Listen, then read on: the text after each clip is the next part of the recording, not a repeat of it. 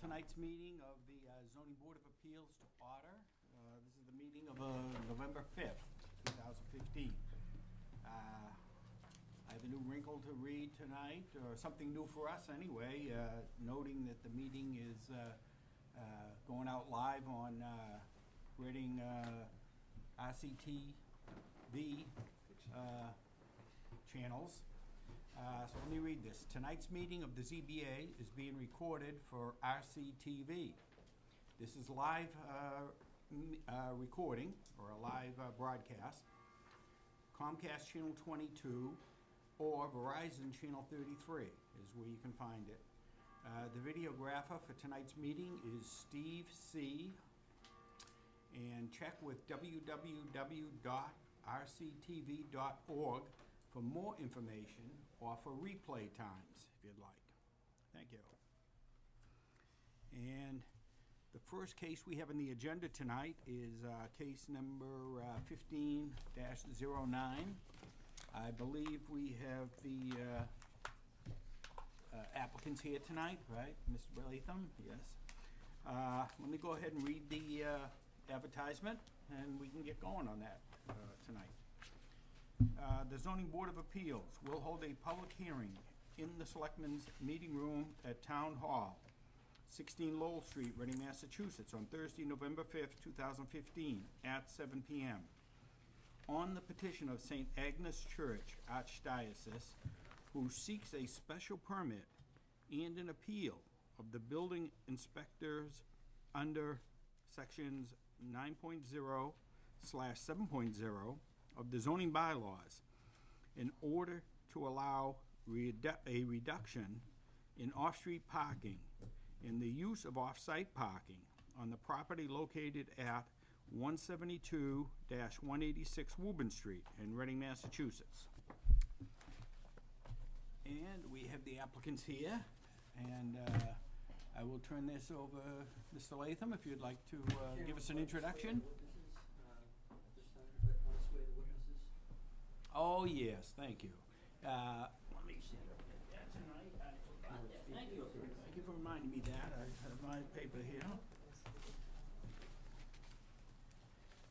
Uh, Unless there uh, is an objection, I will dispense with the reading of the uh, butters list, except to say that the abutters he- uh, were notified, as were the following: Board of Selectmen, Town Clerk, Police Department, Fire Department, Building Department, Conservation Commission, Health Department, Assessor's Office, Engineering Division, CPDC, members and associate members of the Board of Appeals, as well as the planning boards of Wakefield, Lynnfield, North Reading, Stoneham, Woburn, and Wilmington.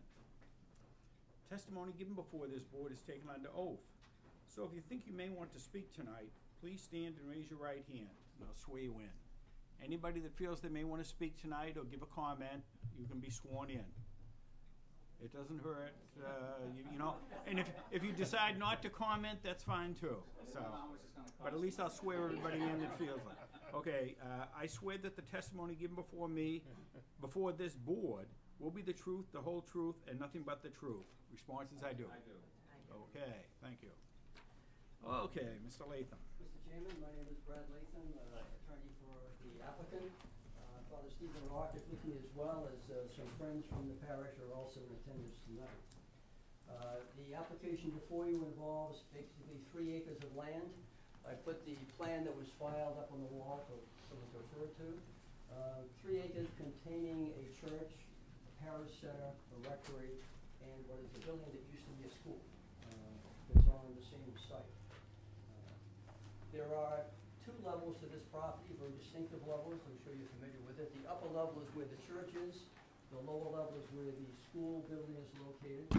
Uh, There are two stairways existing from the upper level to the lower level, uh, so people can uh, go from the church down to their cars. During the hearing tonight, I'm going to, if I may, refer to the upper level, the lower level, just for sake of description, it may be easier that. I do want to apologize to the board, I submitted an application with an addendum that was unduly complex. Uh, Some numbers probably were hard to follow, so tonight I'm going to try and make it very precise and clear, and hopefully we can get through that part of it. Uh, The current zoning bylaw requires that uh, for a church, you must have one parking space for every three hundred square feet.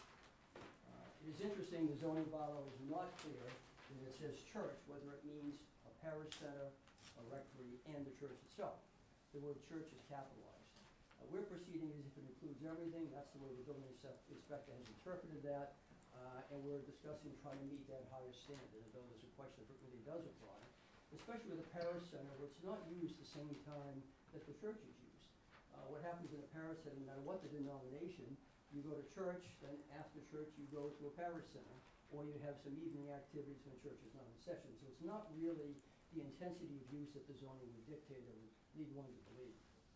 Uh, Having said that, uh, in 2013, uh, I appeared before you with town council uh, when the church was looking to sell the lower property in the school uh, to the town of Reading Forest School.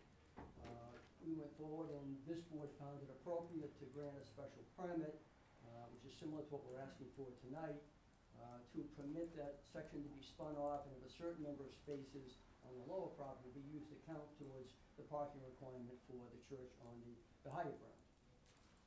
Uh, and that, that special permit, at that point, uh, there were fifty spaces, uh, on the upper area where the church is, and forty-five spaces were described to be used in the lower area, for a total of ninety-five spaces. And this board felt, and you have to reference the plan or look at the plan to understand that, but the board's decision allowed ninety-five parking spaces to meet the needs of the church on the upper lot. What we have before you tonight is better than that, uh, but that's what the, was approved at that time. Just as a side note, I'd like to indicate that the lower lot, its use, its functioning, uh, is not really part of our presentation for you tonight, that's for some other day. But the objective is, of course, to sell that off for an appropriate use that gets town permits and approvals. The only relevance of the lower lot is to en- enable the church to park some vehicles for its parishioners on the lower lot during, during certain uh, services or masses. Uh, We are aware that we have what's called the Dover Amendment, you're well aware of that as well, that indicates that churches and certain charities are immune from any provisions of zoning, but we also acknowledge that the parking, reasonable parking requirements are, do apply to a church, so we're appearing in that context. So the proposal before you, I can point here on the map, uh, a couple of changes that are relevant, I think, to the overall picture. Right now, traffic comes in at what is the westerly extreme as well as the easterly extreme. Uh, It also comes in, even though the arrows show otherwise in this plan, it al- vehicles also come in in the middle uh, driveway and go down on the side of the school. So this really has two-way traffic right now. That's created, uh, according to the police chief, a conflict in the confluence of that traffic, entering and exiting. So part of this proposal and the parking layout we're gonna be discussing is to have dedicated spaces so that the western extremity is in only, the eastern extremity is in only, and the middle driveway is out only. We think it helps on the confluence of the traffic.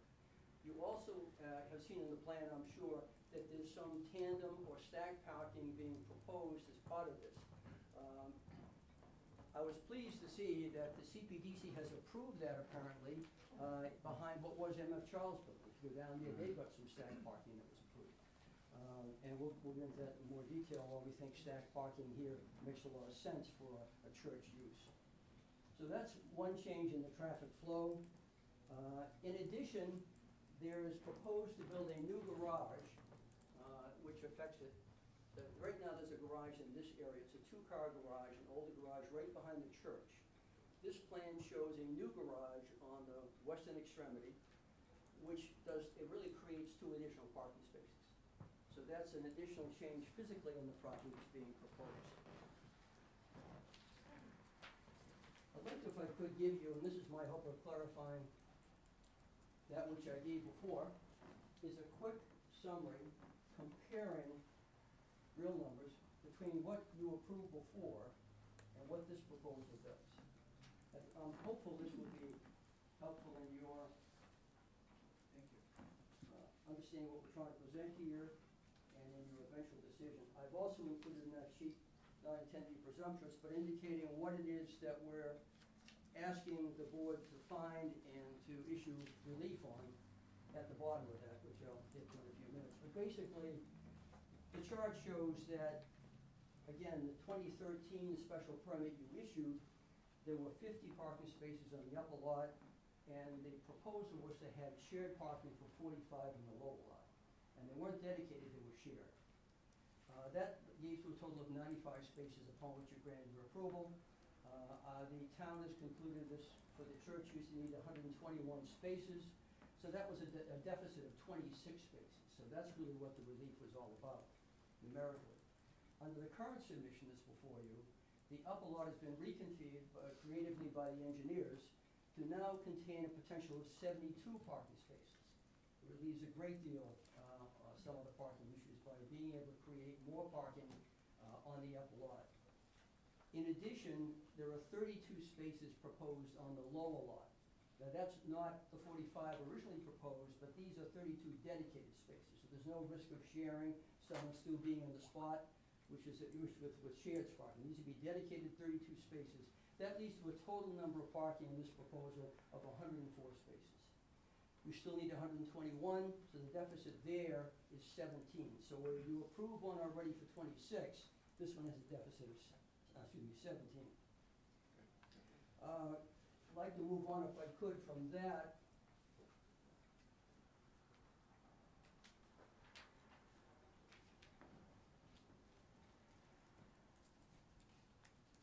I, I think it's self-evident that the parking we're involved in here with the church is really four hours a week, maybe five hours a week.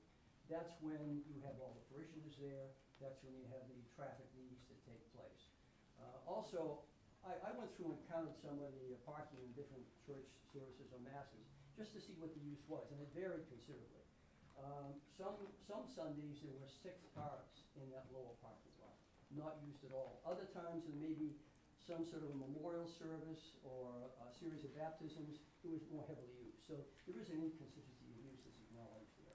But many times, uh, that lower lot's barely used on, on Sundays. I've already discussed the methodology used by the town in, in measuring the spaces. Uh, I talked here about the frequency of use, again, only a few hours a week, um, and the better traffic controls from the plan that's proposed before you. So I'd like to, if I could, at this point, go on to what the relief is that we're requesting from the board and explain why we are. Uh, Number one, the sheet just gave you, was to ask you to bless or allow uh, there to be tandem parking, bad choice of words, I'm sorry. So to allow the tandem parking on the upper lot, uh, as shown in the plan. We believe that the, uh, the churchgoers arrive at the same time, they leave the same time, it's not like you, people parking in the front not being get out, because people behind them are still there, it's some sort of a retail function. So it is a concurrent use, which we think a tandem, uh, it fits very well. And we've, we've done it in a very controlled manner.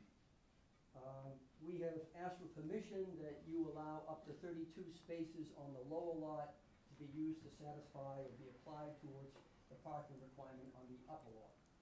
And the last request is a request that you approve the deficiency of twenty-five spaces. Now, I know the calculations I've given you say, well, we're only short seventeen, why are you asking for twenty-five? The reason I'm asking for that is the lower lot is gonna have to go through a a approval process. And to do that, some of the parking spaces shown there may be lost. We've got enough parking spaces to meet the needs, and I'll- I'll, tell you that the objective of the school is to have twenty, uh, twenty units in it, twenty residential units.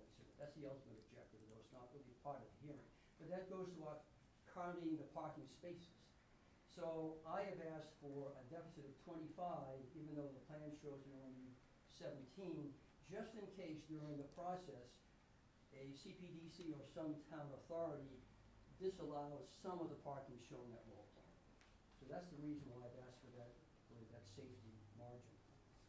And that's pretty much our direct presentation. We'd be more than happy to answer any questions that, board may have. Thank you for your time.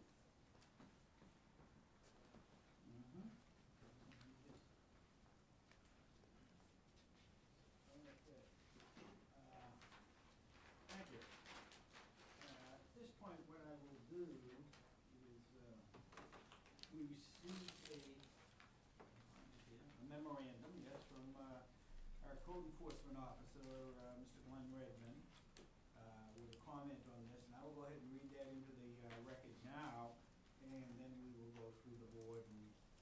uh, people's comments from the board here.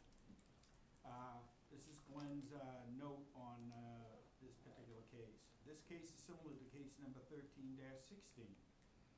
Uh, I would recommend that the ZBA look at the past decision that they made and consider it with the new special permit application.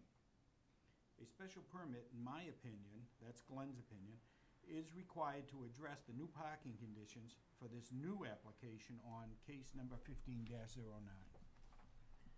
that was his comments on that, and why don't I, uh, go to David, and if you would like to start, if you have any comments, uh, that you would like to ask, Sure.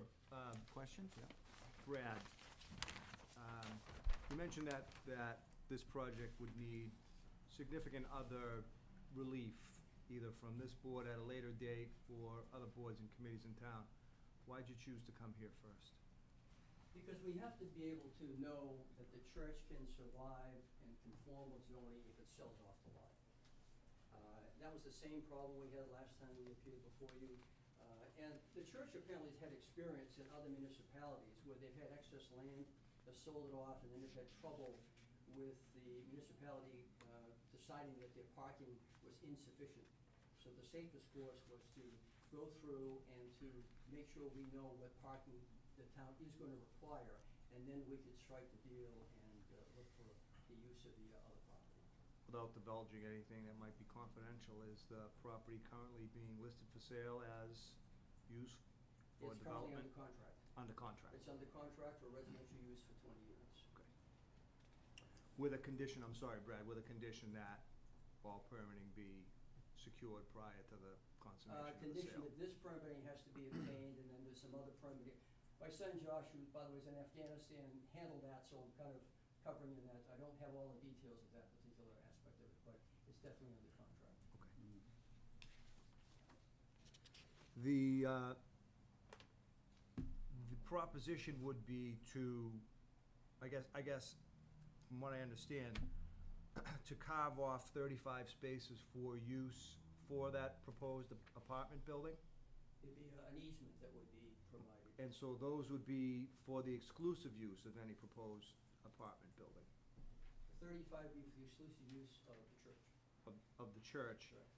Uh, well, shared 30 by, Actually, it's 30 32 are dedicated for the church, the remaining would be available for the apartment building. okay. Which, yeah, I agree with you there. I thought I had read in the application that you were setting aside thirty-five spaces for the twenty-unit, proposed twenty-unit development. Th- That's Is that true? But as far as what it- we're before you on, we need permission to Right. have thirty-two, not the same, Okay. thirty somewhat, Yeah, dedicated for the church. okay, yeah, yeah. So, uh, but, but I think, I think, uh, what, what David is getting at is that thirty-five that will go with the residential development will not be used by the church at all. That is correct. Right. Um, Couple other questions, Brad. Let's see. Uh, It's, it's your position that because the, the town has, in- uh, well, Glenn has used both buildings, both the parish center and the church, to calculate the, the space requirements.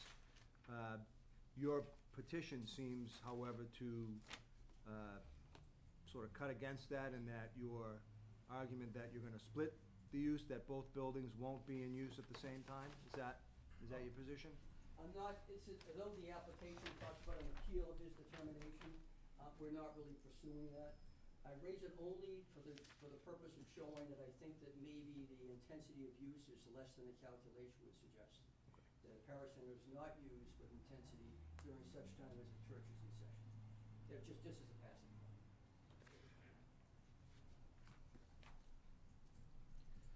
Uh, Going to, explain to me how you expect to work the tandem parking arrangements so that you don't lose, uh, lose the, s- the space requirements. Are you gonna reconfigure uh, spaces, the dimensional spaces, or designate them as tandem parking Yes, spaces? they, they, they will be striped, uh, and if you want signage, they can be signed, but they would, they will actually have an elongated side striping and then a cross striping.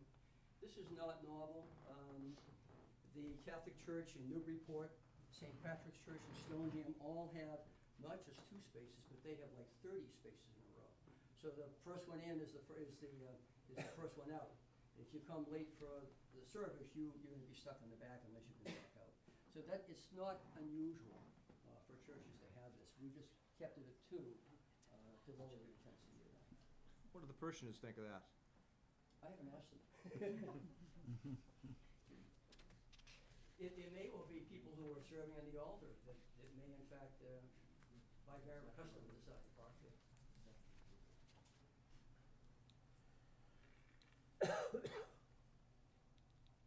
So like the, uh, going back to the, the decision that this board rendered in um, 2013, uh, that case is somewhat similar to this case in that uh, there was a net reduction in the nonconformity proposed at that time, and even more of a reduction in this case with the proposal that you have. A reduction in the nonconformity now, is that correct? Yeah, actually, it, it- it's, it's almost identical in the sense that the buyer is different and the use of the lower property is different. But in actuality, the board was faced with the question of, if we reduce to some extent the parking currently available to the church, will that be substantially detrimental to the? You conclude it was not. And what we're asking for today is a lesser reduction than you granted before. The, uh, I think the, the crux of our decision in twenty thirteen, uh, focused upon the fact that the uses would be alternating in time, meaning that the proposed school, uh, early early childhood education center would be in use during times when there was no mass, where church was not in, in session. How, how do you, how does that square now with, with what the church proposes, um, today? The, I think that the forty-five spaces that were proposed in the lower property for use, shared use, that work very well. The fact that that won't work with residential the same way it would have worked with a school is why we've gone to dedicated spaces as opposed to shared spaces. Um, I do know that the reason, one reason I think the town didn't buy the school was the neighborhood, concern with parking, um, temporary parking, parents dropping children off, the whole little issue there, that was an issue. That won't be in this case.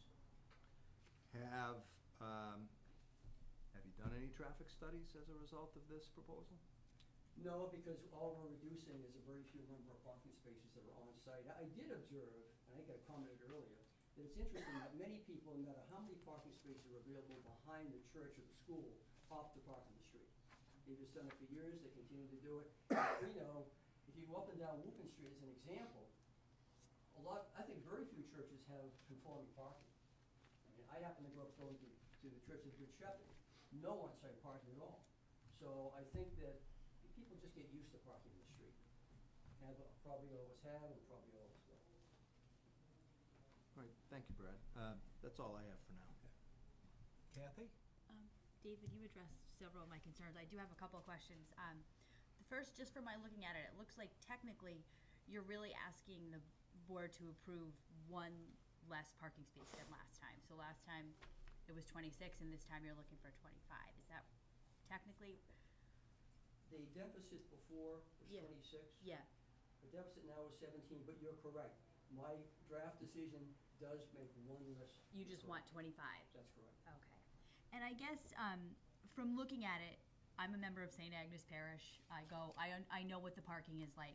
My concern with the tandem parking is myself having children in CCD, is sometimes CCD is also going on at the same time as the church is going on, and they're not always coinciding.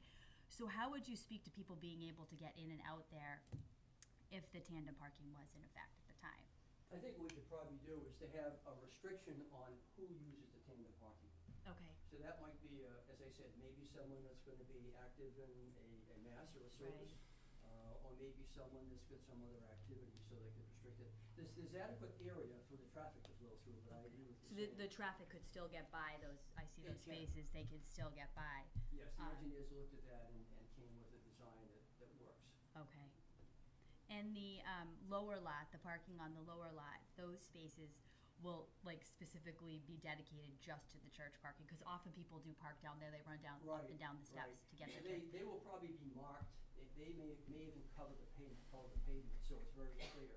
Okay, Uh, and the owner of the, of the, uh, building, the lower Mhm. building, school building, will um, certainly enforce that, because, he's gonna have a responsibility as part of the Right. transaction to make sure those spaces are available and the occupants don't park there.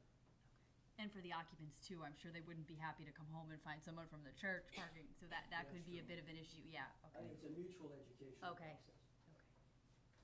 I think that's all for now, thank you. Thank you, Kathy. John? Brian, I was looking at the, uh, the plan that you had submitted. Um,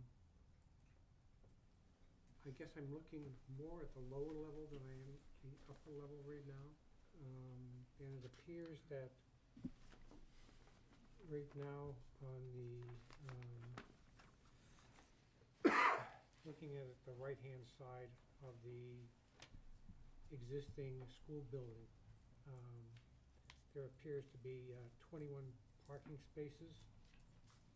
Uh, You have it down as twenty-six. Um, But I'm counting, I'm not counting the numbered parking spaces. Um, You, So, s- you say, I have it as twenty-six, is on the plan marked as twenty-six? Yes. Okay. You think it's miscounted? I, I- again, I don't know. Um, I guess I'm looking at, uh, what is the difference between the numbered spaces with circles versus the, um, the opened spaces The, uh, that, broken line designates new spaces, the solid line indicates existing spaces. Okay? Uh, John, I just counted from the, the bottom to the top, it does come to twenty-six.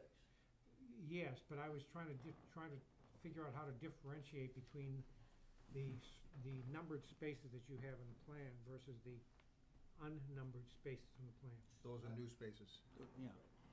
So that includes both the existing and then the proposed, which are the dashed, the Yes. numbered, yeah. That's, that's correct. Well, either way, I came up with a total of uh, sixty-six spaces in the lower level, of which you said thirty-five are gonna, would be dedicated towards the um, residential, the change in the residential use. It would actually be, there would be, um, the thirty-two dedicated for the church use.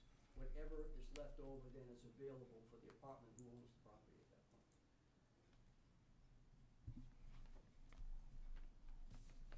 Is that confusing, or? Um, We, we have to have, to meet, the running zoning says that for an apartment unit, you must have one point five spaces, as you well know. So that Mm. comes to twenty units, that comes to thirty spaces. I also know that the town likes to have guest parking and, and so Right. forth. So that's what led us to the concept of having thirty-two dedicated for the church use and meet its needs. And then be able to configure the rest to meet zoning and perhaps have extra parking spaces, uh, to meet the, the town's need when they go through the permit process. Um, If I, if, if my, if my count is right, um, I come up with a total of sixty-six spaces on the lower lot. If you designate thirty-two of them towards the church, exclusive use of the church, um, that leaves you with thirty-four instead of thirty-five. Um, I know that somewhere along the line, um, I think they're counting the cities here. The uh, engineer says there were sixty-seven on the, ah, I'm not Maybe counting, I wasn't counting that Yeah, as I a know you space. weren't. I, I figured you weren't. I, I was going, and it's, it's not really indicated, but I think they're counting that as one. Cause that becomes twenty-seven spaces on the side, not twenty-six. Uh, well, What is that? One, two, three, four. I think I had twenty-six counting that, going right up the side. There's, as you come up, you have the parallel parking along the, uh, side. yes, And then between the parallel and then the ninety-degree parking, there's a space, and that looked like it was still gonna be, uh, s- somebody could park there, and that was counted. I, I think Am I that's correct? Yeah, I think that was correct too. Okay, And I think I had twenty-six then when you include that along that side. Yeah. Okay, that was the difference in that. Yeah. Um, Okay. I guess I'm looking forward to, uh, nothing has been done thus far in terms of change of the zoning from uh, exclusion to residential for the, um, th- this, this building yet. No, It's, it's, No. it still has to uh, um, appear before a number of boards and town officials before that's, that- probably that's back done. before you. Um, Well, Just that building, hopefully, yeah. Um, Then the other question I would have is relative to the parking for that use. Um, You're adjusting for five additional parking spaces beyond the one and a half, which is in the bylaw. Um, But you haven't mentioned any um, handicap parking spaces, which the, probably CPDC or somebody else is, That's, Going that's, to- I, I agree, that's exactly why I asked for a variance or waiver of twenty-five, figuring that as you go through the process, some of these spaces may disappear on that lower lot. So we need to have enough so it can conform.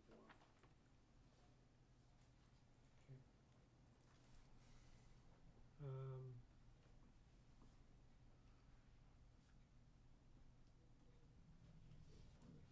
for now, I'm just gonna pass. Okay. Uh, Cy, any questions, further questions?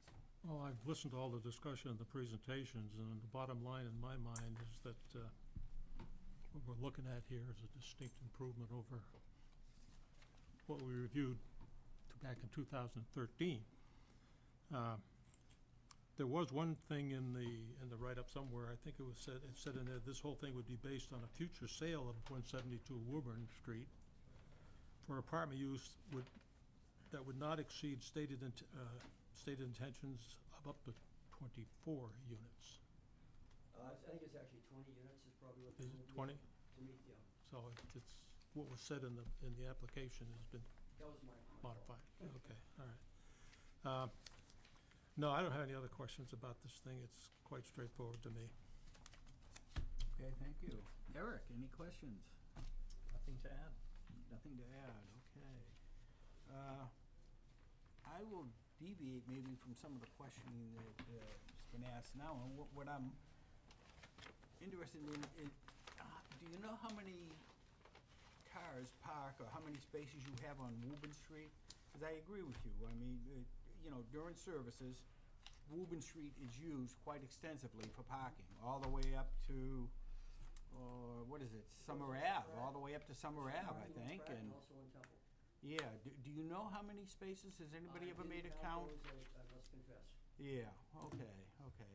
Uh, yeah, I, I would hesitate too, but I would suspect it would make up the difference, the on-street parking plus the on-site parking would give you what's required by the bylaw. Uh. Yeah, I would think, uh, the, wha- what is it, the hundred and twenty, twenty-one reco- uh, required by current zoning, yeah. And, uh, I think that was it. Oh, the tandem, yeah, y- that's, that's down here in the, looking at the plan, the lower left, right? Those spaces that butt up there. Now, you call them tandem, they come in, they pull in, but th- that's paving on both sides of it, so that people could pull out in the front, could they? They don't- No, it's a hill. Uh, It drops down. Oh, it drops Yeah. down, okay, okay. So they, they pull in, somebody pulls in behind them, they have to wait till those people back out Yes. and leave, okay, okay, so that drops down quite a bit there, okay. And the other thing I look at, and, and I know before when we were here, there was not a bylaw that required the the, uh, one parking space per three hundred square feet. Uh, that was a recommendation at that time. Now it is a part of the bylaw, the current bylaw. And I, I think I probably looked at it the same way back then, that, uh, you know, church has been functioning, it's been functioning well for a number of years, probably well over, uh, you know, forty years, 40, 50 years, yeah, into the fifties, uh, uh, with, with the pa- parking there, and I looked at it as well, I, I might consider it a grandfathered type, uh, uh, application. Uh, I, I don't know how other board members feel, but I, I think I kinda take that into account, that it, it's been there a while and it's been functioning and useful, and the on-street parking adds to it. And, uh, to be honest with you, you know, I, I don't have an issue with this one, uh, on it, with the request anyway. Uh, is there any further comments by board members? John? I- Yes? Yeah, I had a question, Brad. Um, If this goes forward, um,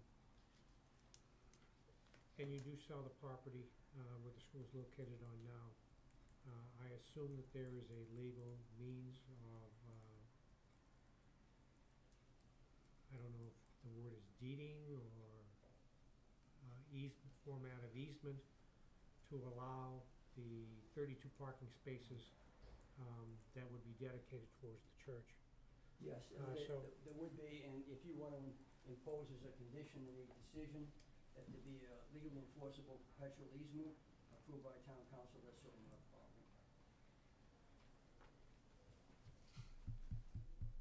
Because I know, Mm-hmm.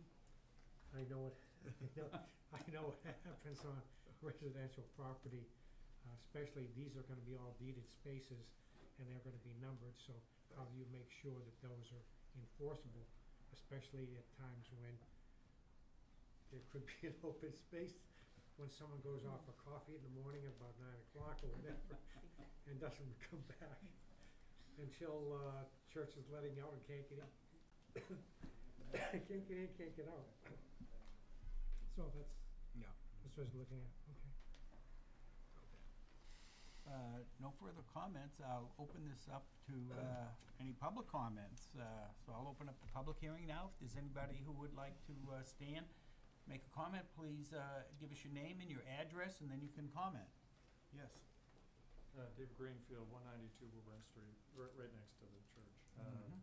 I'm actually surprised to hear a discussion of reducing parking when, uh, our experience is that the churches use more than four hours per week. It's substantially more. And there are parking issues all throughout, up and down the street because of the lack of parking. Um, and I also think that, uh, uh, this is a long-term decision and the church is trying to build, uh, attendance. And so it has the potential to get worse, not better. If anything, uh, we should be making parking on the facility easier, not harder, and not reducing. Um, so I, I think we, and we experience people, uh, blocking our driveway literally multiple times per week. Um, so they're crowding into the street, um, and could use additional parking for it. Okay, thank you. Uh, is there any other, uh, first of all, Brad, would you, do you have any comments on that? Uh, I, I walked by uh, his home many times on, uh, on Sunday, so I, I I know where he lives. Mm-hmm. Uh, I'm not, I'm not aware of anybody illegally parking in front of someone's driveway, that of course is a violation of the town parking ordinance. Yeah. Um, I can't speak to it beyond that, but the, the board did approve in twenty thirteen a number, uh, that were few on-site parking spaces than is being proposed tonight. So the change in that context is, is not, uh, not significant. Okay, thank you. Any, yes, name Hi, and, I'm, I'm Susan Capola. I live at one hundred Reuben Street and grew up at one twenty-eight Reuben Street in Reading. So I've lived here for as old as I am. I won't tell how old that is. Um, and have been a parishioner at St. Agnes, as well as a, um, resident of Reading who lives with the Reading Depot and all of the traffic and the, um, parking situations that the depot and the train imposes, as well as live across the street from the Church of the Good Shepherd, which has no parking. And I just wanna support the church and the, um, plans in front as a resident of Reading and the importance of church as a community and the fact that sometimes as a resident, we have people who make choices that aren't the best, like parking in the back of driveways, which I frequently at my own house where there's not even parking allowed on that side of the street. Um, and it's part of what we have to live with, and that's why we have the police department who can ticket and tow those individuals. And that is one of the solutions that I impose in my own properties, so I just wanted to add that. Good, thank you. Uh, Is there any other comments from the public we're like to hear tonight? Hearing none, we'll close the public portion. And uh, is there any further comments from board members? Uh, If any board member would like to uh, further comment, feel free. Uh, I think, um, I think it would be useful to think uh, about crafting a motion uh, that takes into consideration some of the conditions that we've, we've spoken about, perhaps the one that Brad proposed uh, regarding the perpetual easement pursuant to approval of town counsel.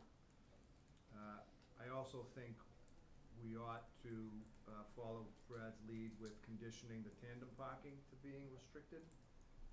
I think we wanna make sure that that doesn't become, well, that we're not al- allowing a problem to, be- to be created.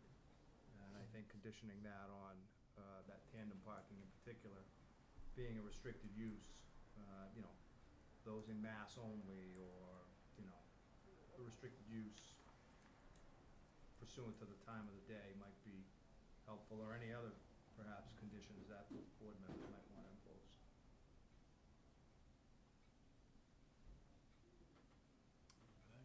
I think it's pretty hard to enforce that kind of condition of tandem parking. How are you gonna do it? How are you gonna enforce it? Well, I mean, how you gonna, how you gonna enforce any of this? Well, that's true. You know, all the churches I've ever, all the churches around the North Shore, I think, have tandem parking. Mm-hmm. Uh, It's a way of life. Mm-hmm. And sure, it can convenience to some people, but not very long, not very long. And I think if someone has a situation like yours, Kathy, where their child is in CCD at the same time mass is going on, or it's gonna get out before mass is just, when mass has just started, mm-hmm. they gotta find a different place to park, planning ahead, okay?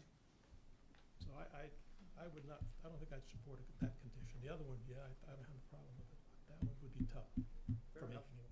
It was for discussion purposes. Yeah. Right. Uh, Again, I'm, I'm looking, bas- basically, they were approved before a special permit was issued for ninety-five spaces. Now they are requesting, from what, uh, Mr. Latham said tonight, ninety-six spaces.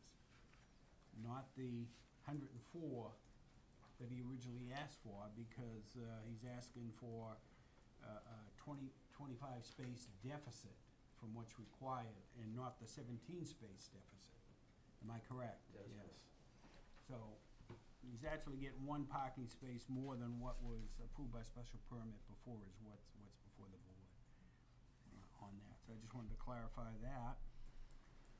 And if there's no further comment, I would, uh, Well, John? I think, uh, I think in a situation like this, the church has been there for over a hundred years. Yeah.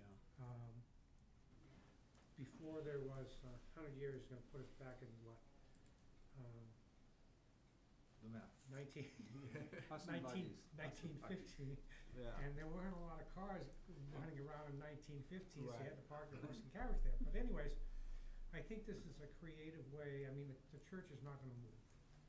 Um, regardless, I mean, Si, you're right, I mean, no matter where you go today, um, all the churches that I know, that I pass and whatever, I, I have come to the tandem parking because it's the only way to make sure that they get the parking number of spaces in there for a net gain of one parking space um, is only part of the issue. The other part of the issue is to get the uh, school or previous school back on its, I'm gonna say on the tax rolls, number one, but also to be able to utilize that, that uh, building for something other than just leaving it vacant or, or limited use as it is now. Um, so as long as, as we can craft something, uh, relative to the, uh, usage on the bottom level of permanent easement or perpetual easement, um, after the town attorney has, town counsel has, um, looked, at it and given us some direction, that's great. Uh, I think that's, that's positive. I don't know what would happen, um, if all of this goes for naught and the, uh, after the permitting process and whatever's gone through, the, uh, purchase and sales falls apart, the contract falls apart, then we're back to ground zero again. So, um, I don't know how to address that either, but I mean, it's, if you're looking at something like this, you're already carving it out, so you're making a determination right here, uh, about going forward, if it doesn't go, you're in a, you're in a, a big heap of mess, so what, what, what can you do with what's left? And I don't know how to, how to be protective about that, because it will be a zoning issue down the road, and who knows, zoning is not becoming less restrictive, it's becoming more restrictive. So what do you do in a situation like that? And I'm not throwing that out to, be a wet blanket on the proposal, because I think the proposal is a, is a forward-thinking, creative method of, uh, looking at what we have here right now. So it's not coming out of that. Mhm. The only other comment I would, I, I, I'm thinking as we're going along here is, as the, uh, residential proposal, uh, proceeds along, and that goes forward, hopefully it does, uh, and you find right now, it looks like you, you're kind of setting aside, correct me if I'm wrong, Brad, forty-three spaces for that, for that building. That's probably about right. And, you know, cause you, you wanna give yourself some, uh, wiggle room in there, so some leeway in regards to handicap, maybe loading, or something to that effect, what, what may be required by, uh, uh, other boards in town. I would say, I would like to see if it's not fully used, those forty-three spaces, that the remainder, the what's not used, is goes back to the church, goes back and dedicated for parking on-site for the church. Uh, The I don't know church if could there's any always- way to ensure that or not, but I, it's certainly something that I, I would like to see happen if, if it did. I think if, if I could speak, uh, first on, on the concern that John had is that this is actually what happened before, is the, uh, Mhm, town was gonna right. buy it, it didn't buy it, so what was done is a nullity doesn't serve a real It's much of a almost purpose. null, yeah, So it, no, right. no one's really damaged as a consequence. Yeah, The second part is that, um, all the purchaser would care about is there's enough parking to meet the needs of the occupants, so it doesn't create on-site needs there, or on-street needs there, and that it meets the criteria of the town. We have no idea what that's gonna be, so it's kind of hard to predict that. it is, I, I, I would agree with that, yeah. It's just something, I thought And I the other said part is some of the spaces may disappear because the town may want a wider turning radius or something that, it may not be an excess space, it may just have to be Right. an elimination of the space. Okay, thank you. Uh, if there's no further comments, uh, on this, I would entertain a motion on this, uh, request for a special permit.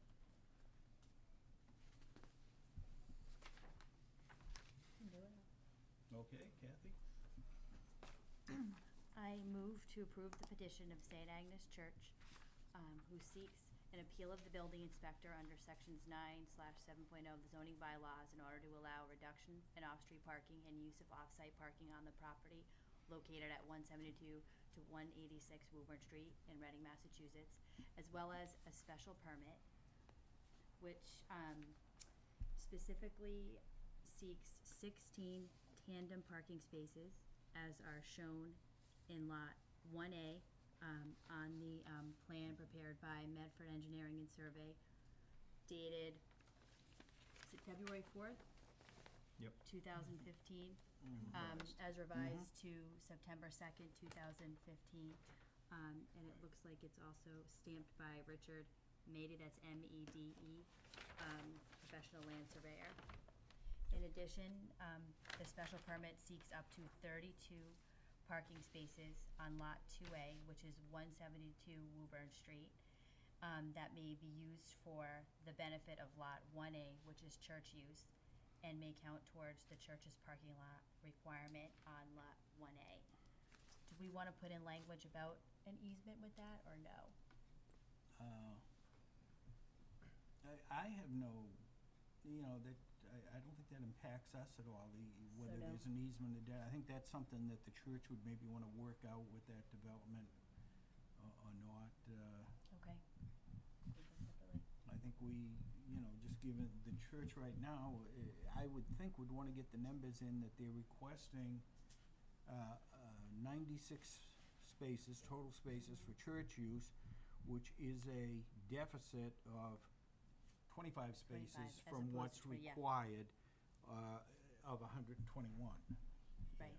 Okay, so we won't put that. So I think we should get that into the So, motion, as- and, uh, In addition, um, a deficit of twenty-five spaces from the number of spaces required by the current zoning bylaw as to the off-street parking requirement for the church use on Lot one A, as also shown in the, um, plan prepared by Medford Engineering and Survey. okay. I would, I would prefer the uh, perpetual easement approved by town counsel. Only because I think it's protection for both sides. When I say both sides, the church on one side, the prospective owner on the other side, so both are protected. Because there, there could easily be, knowing the way uh, us humans work, um, there would be questions, especially like in a kind of condoed area or a residential area, of which spaces we're talking about and how that's to be delineated. You could, you could, s- So, I have no problems with it added in there. uh, On that, I, to me, I, I would think that would be something that, you know, CPDC would uh, certainly be concerned with when they reviewed the site plan for the residents or something, but I have no issue with it. So in terms of those add it, thirty-two yep. parking spaces. Yeah, we let's add would, it in. Um, request a legal, legally enforceable perpetual easement approved by town counsel. Mhm. Do you want that to say any more than that, Brad? I'm? Do you You want want anything that- additional that- with that? Jim? That's, that piece regarding the easement, is that something that the applicant can live with Yes, as, absolutely. as stated in the motion? Uh, I I understand the motion with the perpetual easement uh, of those spaces, is not a problem. Thank you. Okay. Uh, Okay, do I hear a second? Second? Second, and further comments? No further comment? Uh, all those in favor of the motion before the board, raise your hand, if not, okay, thank you, uh, yeah, five regular members voting, Eric is not, is the associate.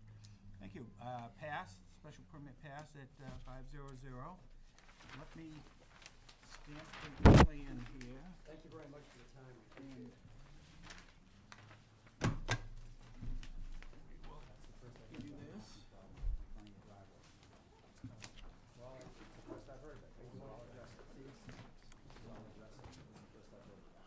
You get tired of it, so we, s- we feel bad calling the police, but I mean, regularly do.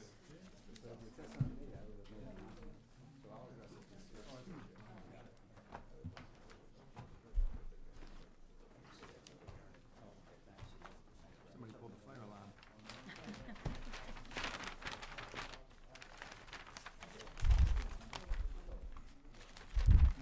Brad, there is a stamped plan for you. And I will stamp the one in file here. And give us a f- a minute or two here to make some notes and do our paperwork, and we'll be with for the next case.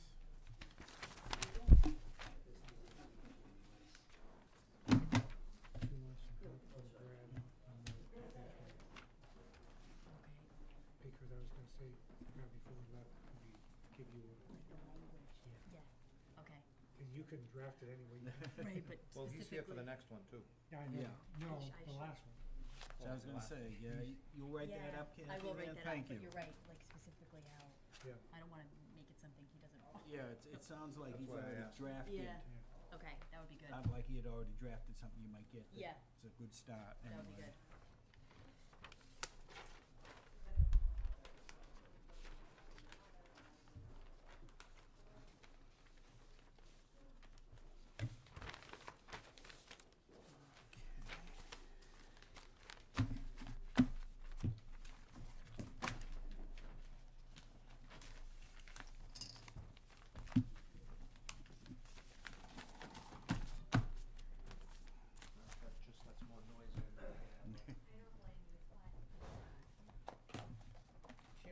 In the old days, you used to open that back door, is that electronically censored to the fire alarm system?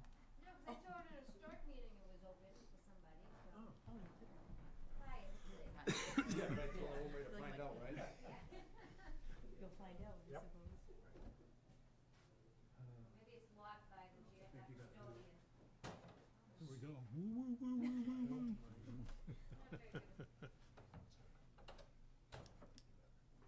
Some emergency exit. I know, I know. Well, I didn't. I can see the fire department showing up, right? Yeah. Still on TV? Nope, Yeah, all right. Okay. So nobody, So we're tried. smacking something around there, huh? Let's see. Uh, You wanna help with that, Kim? You got it? Years. Okay. I think we're- let's see, I want this.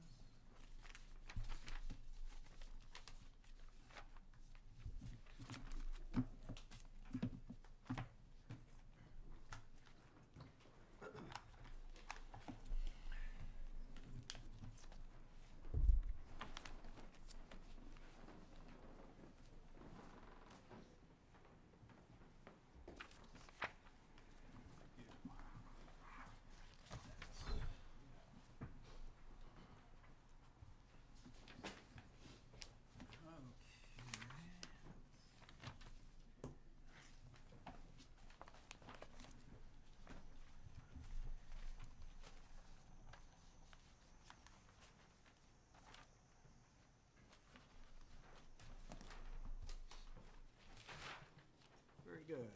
Uh, Next case we have on the agenda tonight is uh, case number fifteen eleven, uh, seven forty-nine Main Street. The applicant is here tonight? Okay, thank you. Let me uh, go ahead and read the legal notice, and uh, we'll go from there.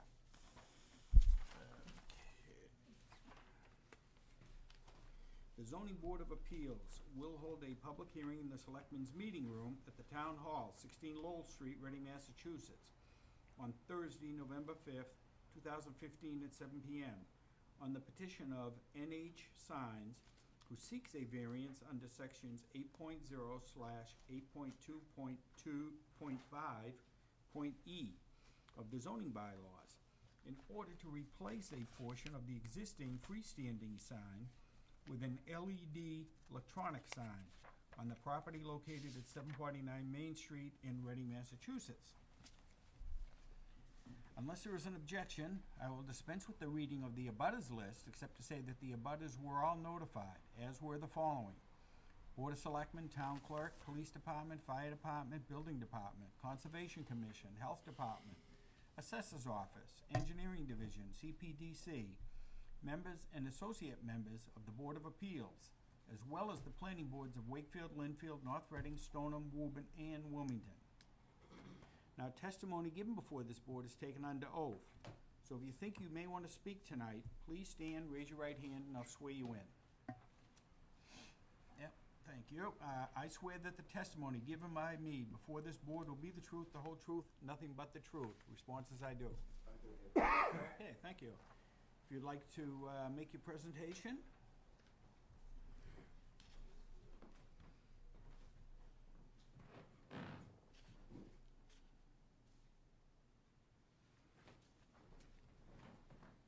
Good evening, my name uh, Peter March from New Hampshire Signs, uh, 60 Old Dairy Road.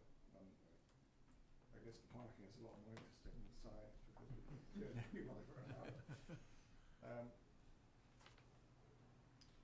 Mr. Chairman, you read the reasons for the request for the variance. Um, 2015, the station, which you can almost see out of the window, uh, was uh, basically sold as uh, part of a dissolution of Concord Oil, who was the distributor at the time. At the time. And it was changed from a Shell station to a Gulf station. And um, at the time, the uh, main sign, the ID sign, was 20 feet high and had a total area of 45 square feet.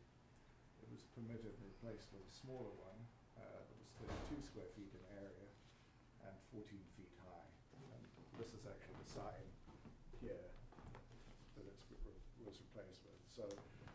sign has been uh, in that location for, I'm guessing, uh, four or five months now, maybe a little bit longer than that. Uh, and the station obviously operates now as a Gulf. Um, so we're requesting a variance from Article 6.2.5 subsection E and ask that we replace this manual reader board here with an electronic reader board, uh, which is this section here.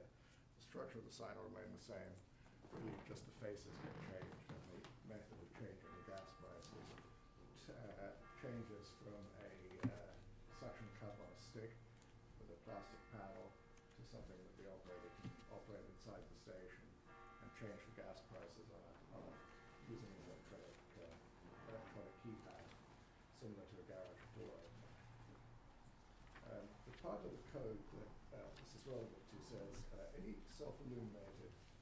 backlit signs which is LCD, LED, electronic messaging, or digital technology, neon or similar signs except as displayed on the inside of windows um, are prohibited. They're described as prohibited signs under the zoning. Um, these LED signs are a, a new technology, newish technology. Uh, they've become prevalent in the last probably five years. Um, principally, the reason is that changing plastic numbers in winter, in cold weather, in wet weather, is, is, a, is a truly miserable job. The, uh, they fit into a plastic track on the face of the sign, and as uh, rain or snow falls on the sign, ice falls on the sign, these, these tracks actually fill with ice. Um, and the uh, person who has to change the prices has to go into the weather and actually literally change the prices on the sign uh, in, in this inclement weather. It's not easy to do, and it uh, incurs, ha- is to incur some uh, uh, injury, some risk of injury. To that effect, Cumberland Farms was advised by their corporate counsel to change all of their signs to one form of digital or another. Where they've not been able to get permits for that product, they, they use a scroller, similar to the scroller product that we saw on buses years ago. So uh, there's a liability issue for the station owner. One of the things that uh, I'd like to bring up is the fact that uh, a lot of uh, zoning code uh, was written at a time when this technology was not uh, ready available. Uh, firstly, LED as a as a as the first point. LED, as you know, is just a, a, uh small light emitting diode. Um, it's become very prevalent in the last five years. So if you see any of the channel letter signs, the individual lit letters, five years ago many of them would have been lit, lit by neon. Nowadays they're 100% lit by LED. Are used in traffic lights. They're now used in box signs. They're used in uh, uh, car lights, uh, both the stop light and the, and the headlight. So it's a technology that ha- is is much more prevalent now than it was five years ago. Uh, that that's the first thing. The second thing with uh, the code is that the the code does in general does not make a distinction between the message board type sign it displays messages and pictures and animations and flashing this, that, and the next thing. And this type of sign, this type of sign is only capable of being on or off to a certain amount of dimness. Doesn't change color. The, the actual digits can't do anything other than be digits. This is much more akin to one of the old digital watches where the, the digit is created out of uh, segments of, of the number eight. And you can see that here. So this particular technology is very different to a message center uh, type uh, application. So quite often the code, and I believe in this case the code does not distinguish between the TV type flashing, rotating uh, technology and this technology, which has uh, a number of benefits for the uh, station owner. Um, just as a, a way of indication, one of the things that this technology, I believe, is, is much more, um, apart from being easy to use, it's more attractive. If you compare the flat panels on, say, Reading Gas with the, uh, the digits on the Mobil at 178 Main Street, that's really what, what the, the comparison would be. And even Sunoco has this type of panel they don't wear well, the, uh, the uh, manual panel, I mean, they don't wear well, they fall apart after a short period of time, they're not particularly attractive. So, uh, that, essentially, that, that hopefully describes the technology and it describes the, the, uh, the, the reason that this, uh, technological shift is happening. In, in this particular case, obviously, we have to describe, we have to discuss four, four elements. Um, the first element is describe the circumstances relating to land and structures that, you know, ha- ha- make this property unique. Well, one of, one of the things is, this is a gas station, and one of the elements of the gas station is that there's a need to change those paddles on a regular basis. The code actually distinguishes, uh, gas stations and, and sets them apart as well, so there is a, there is a recognition in the code that gas stations have a special circumstances that are, are un- unusual in that respect, and this is the case here. Um, as I said, uh, the other thing about this particular sign, they're easier for the public to read. Um, there are some, s- sightline issues with this particular station coming, approaching from certain directions. And, uh, you'll be aware of that because I, I think you probably all drove by it to get here. Um, and obviously, as I said, the fact that the operator, uh, has this miserable job of changing digits in pretty, pretty, uh, inclement conditions makes this unique. If you have a restaurant, you don't have to change the, you don't have to change the restaurant price three, four times a day, which you generally you have to do with a gas station. The other thing about a gas station, uh, which makes it that the price is a very key driver of the success of the station. So the pla- displaying the price in a readable, uh, easy to read format is very important to the success of that particular station. Um, literal enforcement of the provisions of the ordinance would result in an unnecessary hardship. I'd argue that the code really hasn't kept pace with the change in technology. Um, and as I referred to that LCD and LED technology, of LED lit signs all over town, uh, without people really realizing that LED is, is in such common use. So really, the code has not kept, the code has fa- fallen behind technology, in my opinion. Um, describe how desirable relief may be granted without detriment to the public good. I, I don't think putting this technology in does anything but serve the public better. It allows for, uh, more, more Arguably, um, you could say that it, it does good, uh, for the operator who's putting the, the, uh, price faces in, in the track.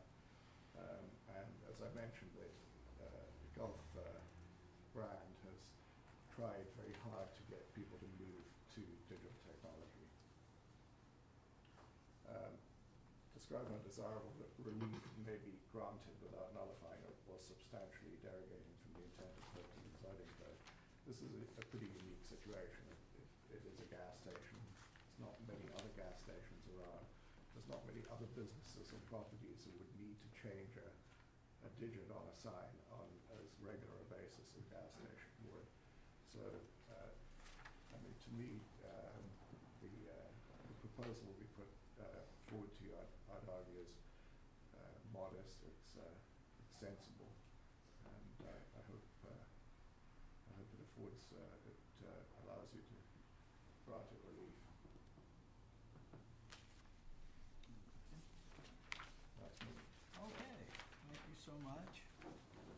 Uh, Let me go right ahead and read what the um, uh, code enforcement officer noted on this particular case. Uh, Case fifteen eleven, this case should have been advertised for an LED reader board sign, he says, rather than an LD, LED electronic sign. This proposal is for an alteration to the existing freestanding sign, and he does not have any concerns with the proposal. That's Glenn Redmond, the code enforcement officer. Uh, why don't we start with Eric, uh, on this case? Uh, any comments, Eric? I have a few. Yeah, okay.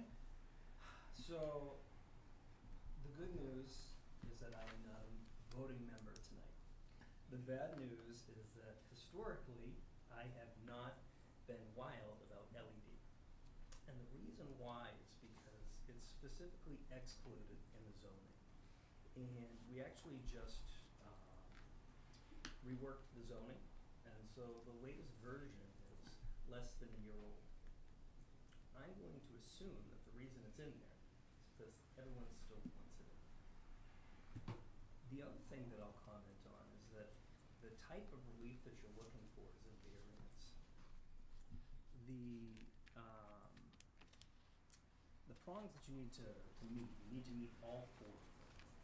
The first two that you described, the first one, I think the focus in your presentation and application is more of the use of, of the property by the current, you know, uh, owner slash tenant, rather than the lot itself, because the variance runs with the land. Um, I think, not to, um, you know, distill it down so crudely, but it seems like maybe the relief that you're looking for, or the standard that you're putting forth for the relief is more special permit, where it's, you know, not substantially, uh, more detrimental.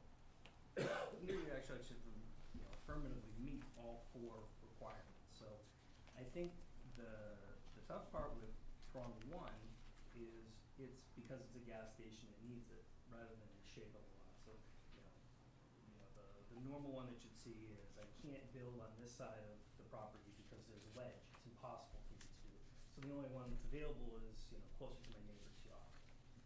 The second one, and I, of course, if you wanna expand on that, that's fine. It seems that for the literal enforcement of the provisions of the ordinance would result in unnecessary hardship, uh, that prong is being satisfied with, uh, kind of a, you know, the, the code's not up to reality. Uh, and then you have to take that in the context of the sign that's there is less than six months old. So it's hard to say that not getting it would be a substantial hardship when the sign that you already have is brand new. And then lacking, uh, at least to my mind, the first two prongs, three and four, you don't really need to go into so much, cause those are, those are a little vague, but I, I think on the, the first two, um, were I voting, that would be a problem for me. So, guys. Thank you, Eric. Uh, comments? Well, I was wrestling with a lot of the language in the, uh, in this, in the bylaws relative to this issue. The paragraph you're referencing for variance against eight two five E talks to private signs on public property, okay? Uh, I assume the service station is not on public property. So, it raises a question in my mind as to whether that's the applicable paragraph we should be talking about, and the conditions of it. Uh, A two six three, in, the- in a business A district, says internally illuminated signs such that light is only visible through the letters and graphics. Opens up a, an avenue of broad interpretation for me, okay, in terms of trying to evaluate this. Um, And then the other thing is that, is there a specific restriction for electronic signs for a business in a business district? Um, Those are things to talk about, I think, around the table. Mm, uh, right. Because they were bothering me. The only other thing that I, I looked at, which wasn't clear to me, is that paragraph eight two three regarding dimensions seems okay to me, except I'm not really sure about the right side setback. I don't know where that sign stands relative to that property line with that building in the corner. It was built on the same base as the previous sign, so it's the And I don't know same- what that is. I, I, there's nothing here to tell me what that is. It's supposed to be twenty feet. And if I look at it, I, I'm not sure. Okay, I drove by and looked at it and took a tape measure out to measure, because I knew where the boundary line was, but, I mean, my argument would be that that was, the the sign that was correctly put. and so, if that, if the condition under which that was done originally was the same setback as it is today, then that becomes, becomes a non-issue. Yes, and I, and okay? it was the I- same. But I just don't know the answer to that. It was So the same, That's the only same, question I it's built have. the same base. And I'll let it go at that for the moment. Okay, uh, John, uh, any comment? Um, I think that there are uh, very few uh, fueling, refueling stations, gas stations, whatever, that uh, are, have not gone to this um, means of displaying uh, price or product. Um, One thing that, to me, in comparison to the other stations in town that have gone the full route, um, display, um, the product in digital format, the, the prices in digital format, uh, messages on the pumps themselves in digital format. Um, so this is one of the lesser, to me, um, applications of what we have. What I'm not sure of is, um, the, the Cumberland Farms down on, um, um, Salem? Salem Street down by the Rotary. Mm-hmm. Um, that was in, uh, a business one A versus a business A. And a business one A required, um, a letter of, uh, appropriateness from the, um, Board of Selectmen, I believe, before we could do it. CPDC, I think we I'm get- sorry, I'm yeah. sorry, I'm sorry, Right. CPDC. Uh, Um, and I don't think that that is true in business A. At least I didn't see it. Right, I didn't see it, I, I think I looked at the same Mm. thing, John, I agree with you, it wasn't required for this one, but it was required in other districts. Because it's more of a residential area than, so, in, in, um, I see where things are going today, I see the, uh, the positive things. Um, as Eric mentioned, we just had the zoning bylaws, um, I won't say recodified, but at least, uh, reworked. And, um, one of the issues were, was on the sign, but, uh, somebody's gonna have to correct me. Are we looking down the road for a further, um, redo of the signage bylaw? Yes. My, my understanding is that the comprehensive zoning bylaw update that was passed at town meeting last not include any update at all of the current zoning bylaw. But that the newly, re- the, the new update that includes the sections that weren't updated last time include, uh, signs, parking, PUD, PRD. And my understanding is that those are scheduled to be taken up at town meeting in the spring. After being reviewed by town counsel So what we're, and town. so what we're actually doing is, this area was not addressed. We, I think the board has for, Oh, I won't say one. how many years, but Mm. certainly a large number of years, asked for clarification be- because of new technology, but also, um, the way we seem to, I mean, at one time, the signage bylaw was a quarter of the zoning bylaw statute.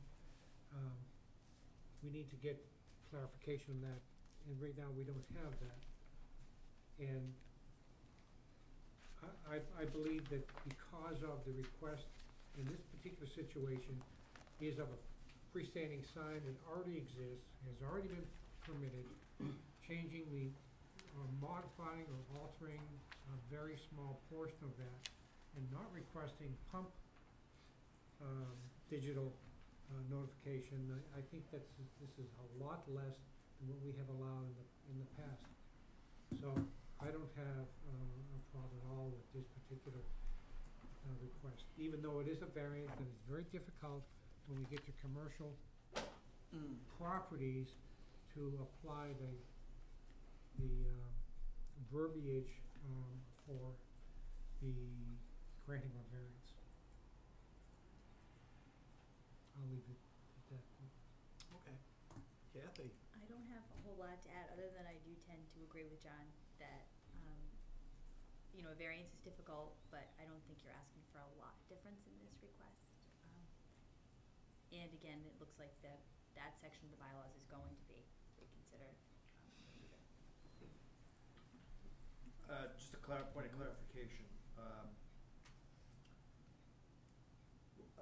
the proposed change over to LED is not going to change the dimensions that were previously approved relating to that area, the illuminated area? No, not at all. No, it's the same, it's the same sign. The, the digital aids are gonna be the same as those letter blocks? Yes, Same, exactly. same Yeah. dimensions? Yes. My next question is more of a procedural. Are- Are we certain that a certificate of appropriateness is not required with regard to all signs in all districts? I would, I- reading the signs required in business A, I, I kind of agreed with John, I, cause I, I was looking for that too, whether one was required.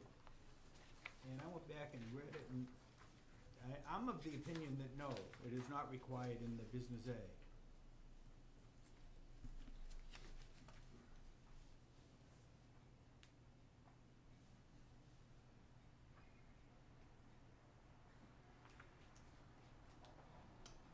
Uh, that, that, everybody else has addressed, uh, or touched on my concerns. I don't know, do we wanna, do we wanna bat around size concerns at all?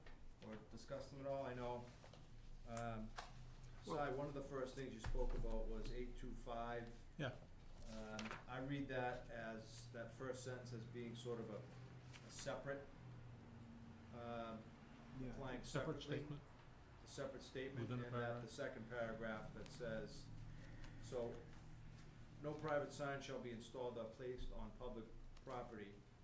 Uh, that's one restriction in Yeah. that paragraph. And then, um, the following signs are prohibited in any zoning district. So I see the first sentence as being a blanket prohibition on public property. And following signs are prohibited in any zoning district, public or private. What would make it clearer, I think, whenever they get to the point of redoing the things, is make that first sentence a statement in itself and make the other one a subparagraph and just keep it separate, totally separate. What a great suggestion. I'm sure it'll be followed. Yeah, right. Okay, You're sitting I- on that committee, huh? Good comment, all right. Um, what were, what were the other Yeah. ones that you wanted to? Well, I think Si brought up the point, there is really no plan that uh, shows him, and granted, it's on an existing sign that's there, but it was just put in six months ago, but there's no, and what's required with an application is a certified plot plan, so we can see, and there is, I, I didn't see one submitted with this application. A uh, you know, a- a surveyor goes out, does a plot plan, stamps it, and submits it with the application, It- and I didn't see one. But did we require that with the pump toppers? Did, It, it, you know, it's, I don't, I don't think. do you have any did. idea when that sign was put up originally? Uh, no, I don't. Okay. Um, uh, If I may answer one question, the reason we put up a manual pricer was because we knew there was a long process to getting, you know, to coming before you for an LED. Right. So the intention was always to come here, but the changeover happened fairly quickly. The purchase of Crocodile was a pretty rapid change, and uh, we knew that this was likely going to be a temporary solution. So that's the reason that the essentially brand new sign right, is being changed over, because we were able to permit that within a matter of days, and, you know, we're obviously some months in with the uh, LED.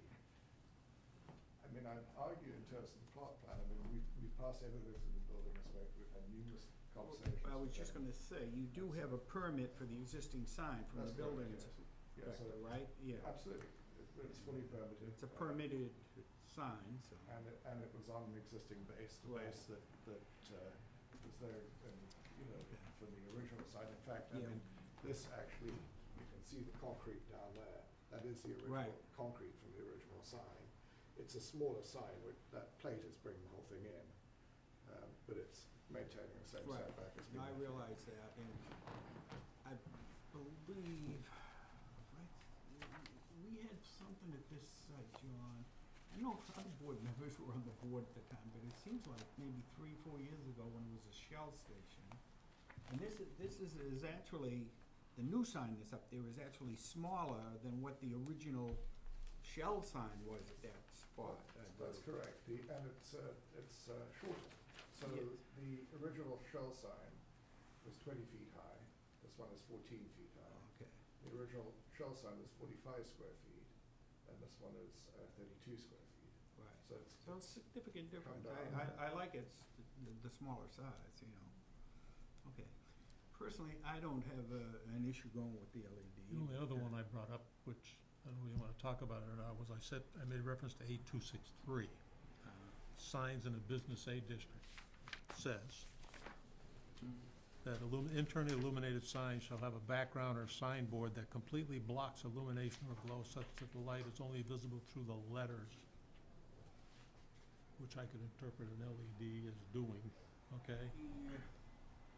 I mean, Well, there's only, That's the old signs The old- that yeah. you have a backlight in there and, yeah, it shows out. if I And may you- say, we, we attempted to do it with the sign that is there. Yeah.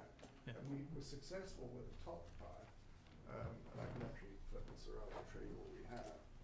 So that, that was what the sign was built to do on the top part, and it was built, what it was built to do on the bottom part, because, but the issue you've got is you have to light the, these letters, and the light just floods through the sign. You will get a better effect of that with this, because you're only lighting that part, and we can now only light that part, we can basically block that part entirely, so Mm-hmm. it'll be more conforming in terms of light. And it's only gonna be the two prices. That's correct, and they're not gonna Yeah. switch, there, there are some people, That's it. Cumberland Farms, that flips back and forth, this is not, this brand does not do that, it's not, not intended to do that. Thank One you. other, uh, Yep, point, um, do we, how do we get around Glenn's concern that this was advertised incorrectly? The notice was posted incorrectly? Uh, do we, do we amend it on our own when we I- make I a think- motion? I think we can amend it on our own. I was gonna suggest now, it, it, it was advertised incorrectly, it's, it's really not. This is, this is more of a sign board than, It's a freestanding sign. than an LED electronic sign. Yeah, well, I mean, the paragraph defines reader board Yeah. and draws a distinction between Yeah. reader and electronic as to the number of times it's changed during the what, day. what Glenn called it, he called it an LED reader board. Yeah, It should have been advertised as a, it's, rather than an LED electronic. I think we can just in our decision note it as an LED reader board sign, as Glenn calls it, and leave it at that. Would you I agree mean, with I that? have the uh, original application, which refers to electronic gasoline price change. So that was the original application that was, was made. Electronic gasoline price price changer. changer. But it re- that really, that just is uh, electronic, uh, doesn't really say LED, but, uh, yeah, which is, uh, LED's light emitting di- diode, Right, if I'm yes. correct, yeah. That's correct, yes. Uh, Yeah, I, I would say when we clarify it, whoever writes it I up, just, I just bring it up for point Yeah. of order, basically. we could, we could even note in the decision that Yeah. it's, you know, n- uh, clarified further by the building inspector as an LED reader board or something, to that effect, maybe. One, one comment I had, now, I've driven by a couple times, maybe once this week, once last week, and I've noticed both times there's a, you might wanna call it a sandwich board type price sign out in front of the station. Should not be, I will, I will is that right? make sure that that does not happen. Uh, they- I'm not part of it. yeah, okay, I- I'll yeah, if sure I'm not mistaken, I've driven it was kinda like tied to the tree that's out in front there, uh, We will make sure. there, and, uh, I, you know, I, I. one sign's allowed, a freestanding sign, and specifically, the bylaw says no sandwich board sign, so it's folding job is, that Right. you I could would, put out. would make a suggestion that the, the motion here says Yeah, that there are No no further addition- signs No further signs particularly. are allowed Yes, there, yeah, okay. absolutely.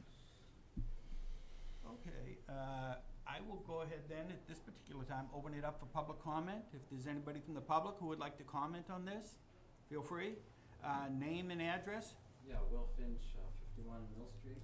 Um, I, um, when I initially saw the, the notice in the paper, I think I picked up on the, the word electronic, and also I picked up on the, the company NH Signs. So I wasn't clear where the location was until I, and so my first impression was, "Oh, maybe this is a larger sign in some other part of town, but when I looked up on Google Maps, I could see that it was the, the Gulf Station. Um, and I I just was, was by there tonight just to have a look at the existing sign. Um, and, um, I would, I would agree that it's, it's not, uh, it would be an improvement on the existing situation. You wouldn't need that sandwich board that maybe provides improved visibility for some people that aren't looking in the right direction. Um, and I, you know, of course, we've seen, as we said, the Mobil station on South Main has a similar, um, sign, so, uh, I have no issues with this, sign. Okay, thank you. Any further comments from the public? If not, I'll close the public portion of the meeting. And uh, there are any further comments from board members, we'll hear them. If not, I'd entertain a motion. I have one additional Okay. comment. I think that the uh, residents of the uh, condominium, residential condominium immediately abuts, um, surprised Mhm. there's nobody here this evening, Yeah, they, the would be buildings far there. less than what is, what exists right now, because when you put the uh, letters in those right now, you you can have more illumination on the abutting property than you do if From you the have the backlights, electron, yes. So I would think that that would be an improvement for the uh, immediate abutters. Okay, and let, let me ask this, now, when the gas station is not in operation, the lights will be turned off? Yes, yeah, exactly, yeah. And what are the typical hours of operation? Do you know? Uh, six to ten, something like that. Six- Some- Six in the morning, ten at night? Something like that. Yeah, seven days a week? Yes. Okay. Yeah. Yeah. Thank you. Uh, I would uh, entertain a motion now at this point. I'll take a whack at it. Okay, sign. I move to grant the petitioner NH Signs a variance under section, and I guess, uh, eight point two five E is it still Mhm. appropriate? Yeah. Uh, we could refer both eight and eight point two five point E of the zoning bylaw in order to replace a portion of the existing freestanding sign with an LED electronic, well, with an, ele- he- he- we'll call it an electronic sign, and we'll clarify it in the write-up. Okay. Comparison to, you know, a reader Yeah. sign. Yeah. On the property located at seven four nine Main Street in Reading, Massachusetts, in accordance with, and you guys left the double checking on this one, architectural drawings, pages two, eight, and ten, Architectural drawings. dated September tenth, two thousand and fourteen. That's what I'm, I'm. There's more than three bas- drawings bas- in there, but I basically didn't, these drawings. I didn't refer to the existing Yeah. drawings. I just referred to the new ones. Right, right, and, uh, Perhaps you might want to add that NH Signs as agent for yeah, Okay, I was gonna bring The- that up. yeah, okay. but- property owner, there's a, there's a Yeah. document in the package. Yeah. Uh, the property owner is AZ, ASZ LLC, and Sam Kof, Kofahi. okay, okay, I'll do that. Uh, okay, in accordance with the architectural drawings eight, ten, and eight, uh, two, eight, and ten, two, eight, and eleven, uh, dated September tenth, with revisions dated September twenty-fourth and November fourth, both dates listed on those draw, on those prints. Prepared by Blair Companies, five one oh seven Kissell Avenue, Altoona, Pennsylvania, Mhm. all of which are included with application, with the application. Do we need to say anything else? No? I'll second that. Uh, You'll second that, John? Okay. Uh, Further comments from board members? Uh, I will note we have five regular members tonight, so uh, five regular members will vote on this. And uh, no further comment? All those in favor of the motion before the board, raise your hand. Okay, let it uh, pass. The variance variance is granted uh, with a vote of five zero zero. Let me stamp the plan here, and I will give you a copy.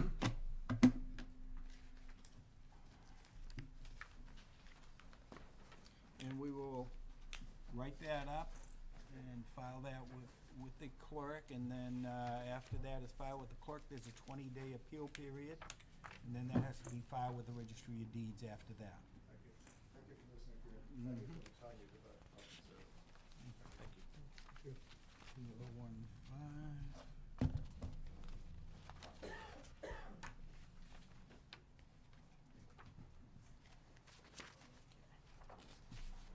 Here is a copy of the plan stamped, sir.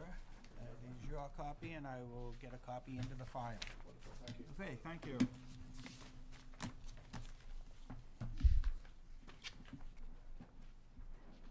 You write that one upside then? Yes. Thank you.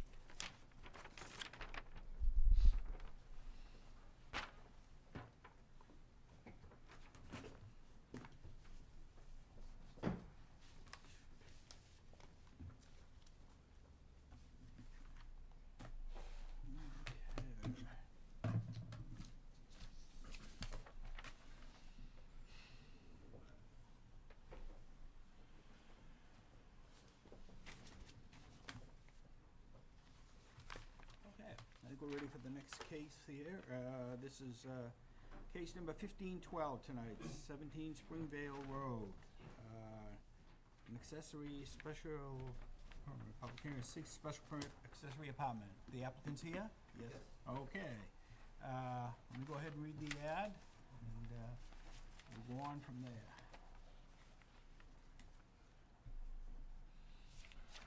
Uh, The zoning board of appeals will hold a public hearing in the selectmen's meeting room at Town Hall, sixteen Lowell Street, Reading, Massachusetts, on Thursday, November fifth, two thousand fifteen, at seven PM, on the petition of Anita Lasicada?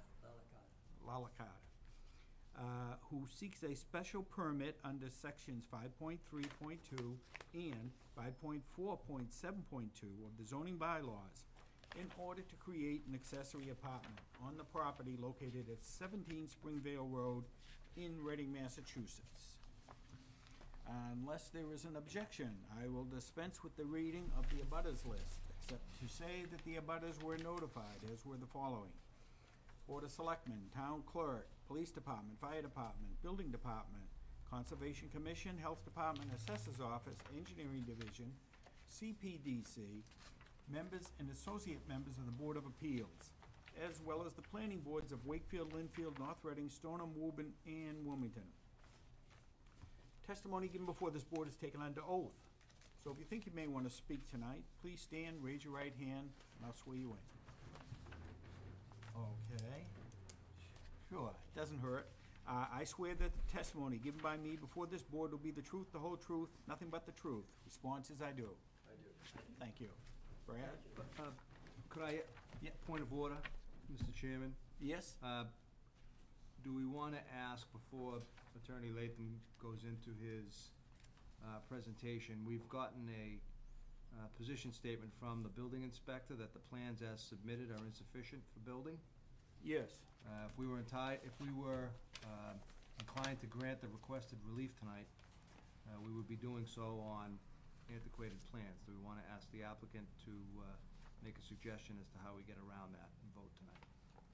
Uh, You, you certainly can. I know the building inspector did note that the plans presented at this time are not acceptable for construction or building permit.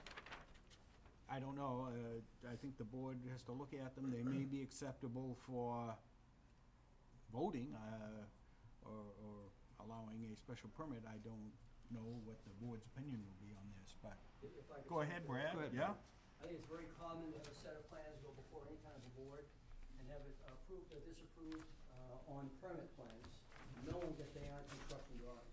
I think that, that difference is not really relevant for the matter before you. And perhaps if you allow us to proceed, we can try and show how we meet all the criteria of the zoning bylaw, realizing that before we go for a building permit, there must be construction drawings. Sure. Um, And if I could, um, with me this, this evening, Anita Lavacado and her son Tony Lavacado. Okay. Tony and his wife Jennifer purchased a home at seventeen Springdale Road uh, a matter of months ago. Uh, Anita and her late husband Tony were dear friends of my wife and I. Uh, and that, uh, it's ideal now, a circumstance for Anita as a widow, uh, to join her son and his wife and her grandchildren, uh, in the home that Tony just bought in Springdale Road. So what they'd like to do is to construct, uh, on the back of the property, very unobtrusively, uh, a single-story addition that would be an independent living quarters that meets all the criteria uh, of the uh, accessory apartment requirement. And I think by going through this, uh, hopefully we can prove to you, not only meet the requirement, but what is before you is adequate for you to make your judgment on whether or not it meets the special permit criteria. And if it does, then we realize that we have to file a building permit application and a full construction basically, uh, going through the uh, zoning bylaw, and looking at the criteria, uh, first, there must be a complete separate housekeeping unit containing both kitchen and bath, and you can see from the plans before you that does in fact meet that criteria. Uh, And it must show the proposed interior and exterior changes to the residence, those are shown. There are elevation drawings, and there are also interior drawings that label each room and the, the accommodation of that room. Also, it requires not more than one-third of the gross area of the principal single-family dwelling, uh, is the maximum size that's allowed for the accessory apartment. The architect who stamped and signed these plans has shown that dimensional requirement being met. Uh, it's on the left-hand side, within the main portion of the house, it's, it's, he shows the math in that area. In addition, uh, the bylaw requires that the minimum net floor area must be at least four hundred square feet, the maximum net floor area must be seven hundred and fifty square feet. Uh, I think it says seven hundred and thirty-six square feet, so it, it meets, uh, the criteria of that section. Uh, in addition, one of the owners of the lot, uh, either the principal resident portion of the accessory must reside, and Tony and his wife who own the property reside in the main portion of the house. So that criteria is met. The appearance of the principal dwelling remains that of a single-family dwelling, and a new entry to an accessory apartment be located on the side or the rear of the principal dwelling. It is in fact on the side. Uh, And as a side note, uh, the parking is ample, it's a two-car garage, it's got a two-car width driveway, so it accommodates more than the required parking for zoning purposes. Uh, Then it goes on to say all stairways must be uh, hidden, Uh, if there's a second floor accessory uh, apartment, it's not second floor, it's first floor, so we don't have that issue. Where two or more entrances already exist in the front facade, that's not the case, it's not changing here. Uh, The accessory apartment is on the side. The location and appearance of such driveway shall not adversely affect, that's if you're changing it, it's already looks like a two-family, a two-car wide uh, driveway, and that's exactly the way it's gonna stay, there's, there's no need to change that. Must be connected to public water and sanitary sewer, which it is connected. remain. Uh, the apart, accessory apartment can't be occupied by more than three people. Uh, Anita's living there alone, so it meets, meets that criteria. Uh, and then J just deals with carriage houses, which isn't the place here. Uh, and K deals with, uh, disability and disability access. So I believe that you can see from the plans before you that while they aren't construction drawings, uh, they do show enough so that you could stamp and approve them if you're so inclined. Uh, recognizing again that rafters, load-bearing issues, all that kind of thing that's relevant to construction isn't really relevant to this issue, and will have to be satisfied at the site, satisfied Glenn at that time. So we're more than happy to answer any questions you may have, and I'll request that you see your way to issue a special permit for Anita. Okay, thank you, Brad.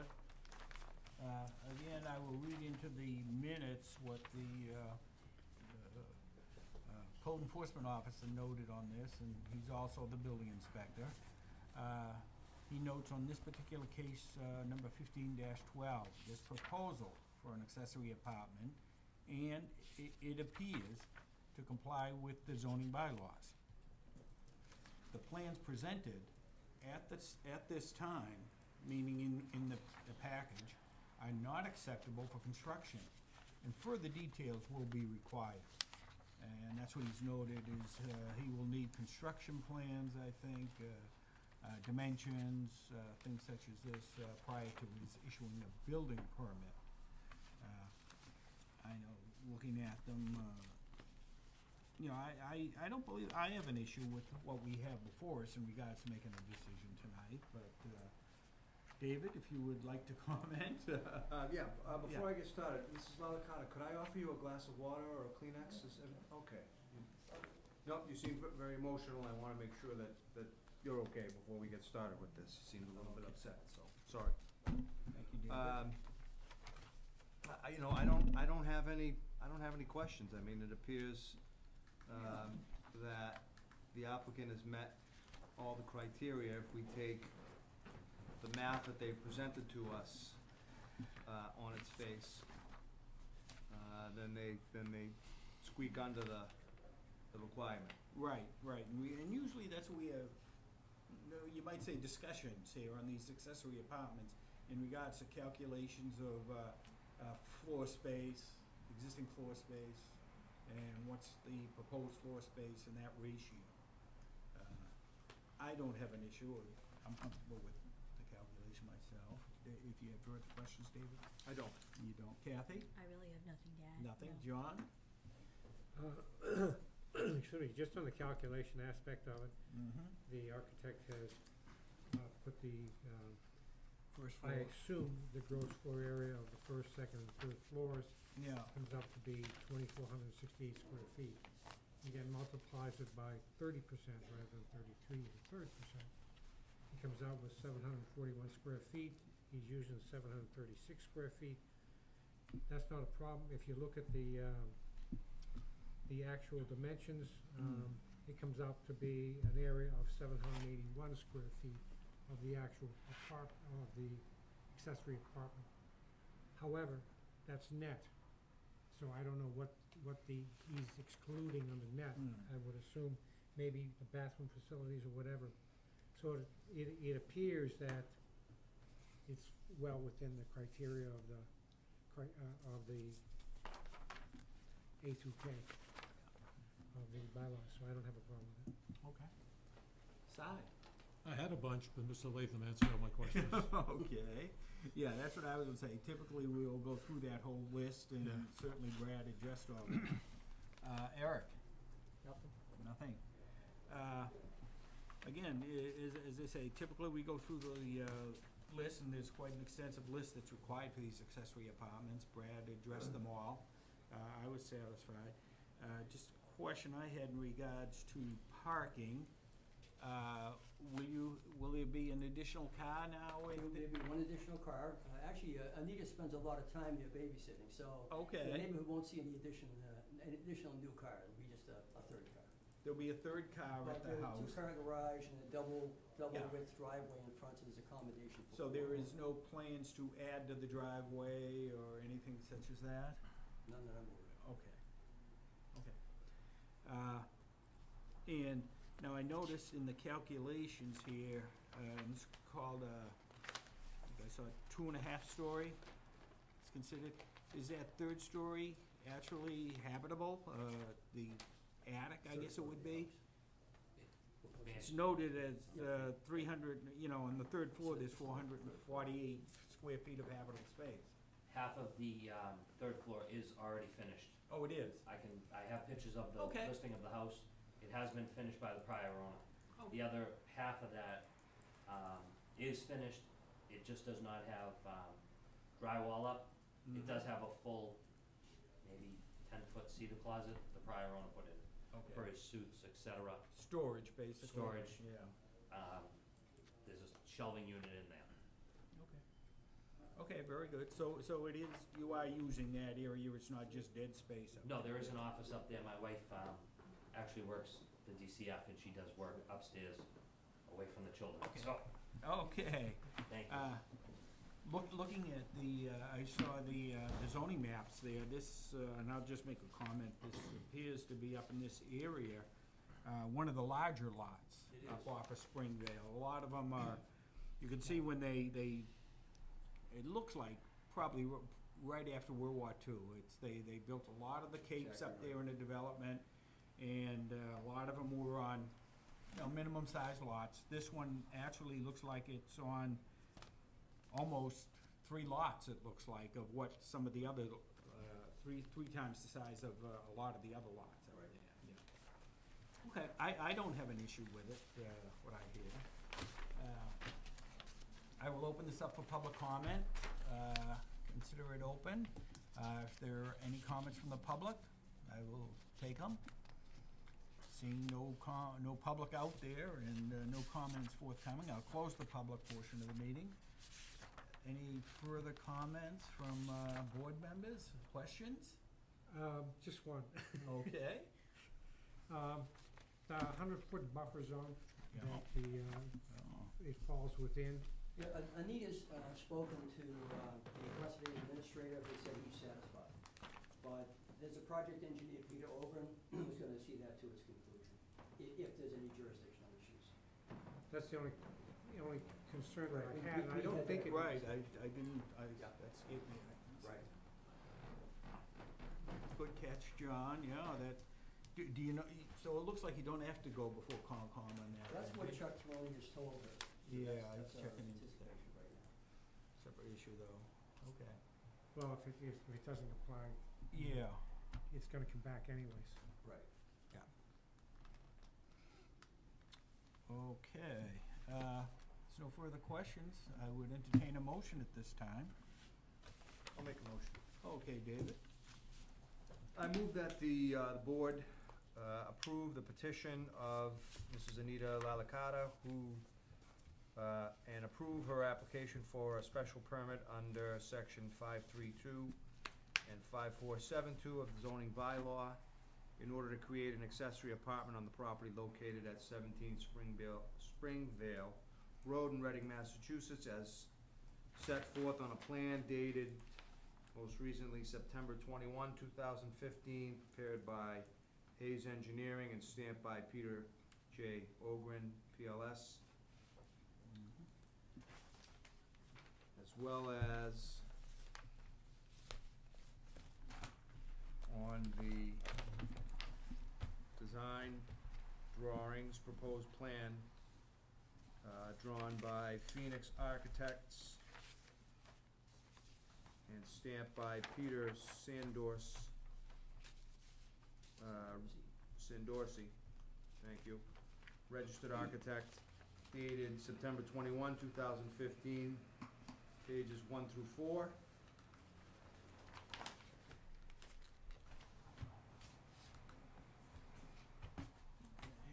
To that, the three conditions that we typically add. E- Right, in Hold on, let me regards add- let to add 'em in. occupancy, getting your building permit, foundation permits, uh, prior to your building, get a building permit, I usually get have, uh, approved prior to occupancy, and usually have an the occupancy language. permit. You got it? Yeah, let me add them. Okay. Thank you. Uh, with the following conditions, petition- petitioner, one, shall submit to the building inspector a certified plot plan of the proposed construction and proposed foundation plans prior to the issuance of a foundation permit for the work. Two, petition- petitioner's final construction plans for the new structure shall be submitted to the building inspector along with the as-built foundation plans prior to the issuance of the building permit. And finally, three as-built plans showing the completed construction shall be submitted to the building inspector immediately after the work is completed and prior to the issuance of an occupancy permit. Thank you. Yeah. I'm sure it's here. Do you So moved. maybe want to amend it, David, and note that uh, the board recognizes the fact that more detailed building plans have to be submitted to the building, as noted by the building inspector, you know, has to be permitted. Isn't that covered in the second it of the three basically conditions? is, I mean, yeah, he'll either issue it or not issue it based on the, Yeah, I mean, they- they complexity have to that's present required. construction They gotta plans do it as a anyway. condition Yeah. anyway. Okay. So Would that you I want think to presumes- reference the paragraph that Brad went in detail about, which is five seven four three as well?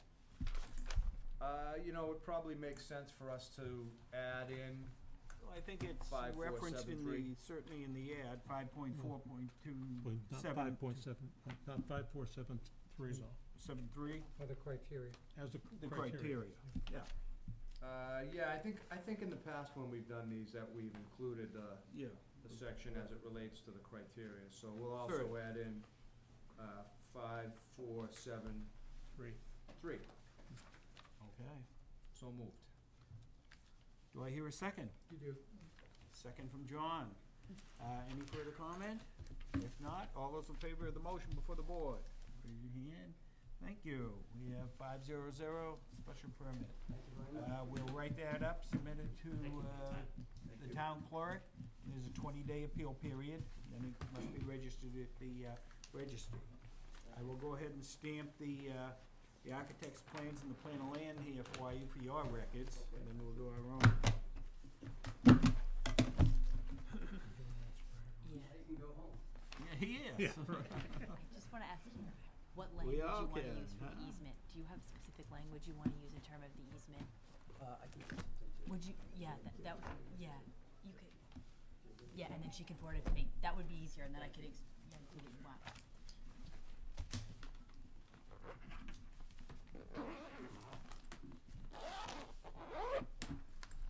Few cases I thought we'd be here until ten thirty, eleven o'clock. Yeah.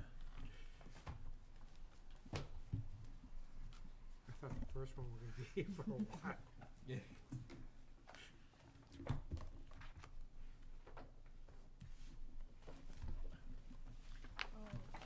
Thank you very much, have a good night. Okay, Mr. Pratt? You too, Brad. Take care, thank you. Thanks a lot. Okay. care. Right, Brad, thanks. Thank you. Thank you Night. very much for your time. Good night, folks. And you will write that one up, David?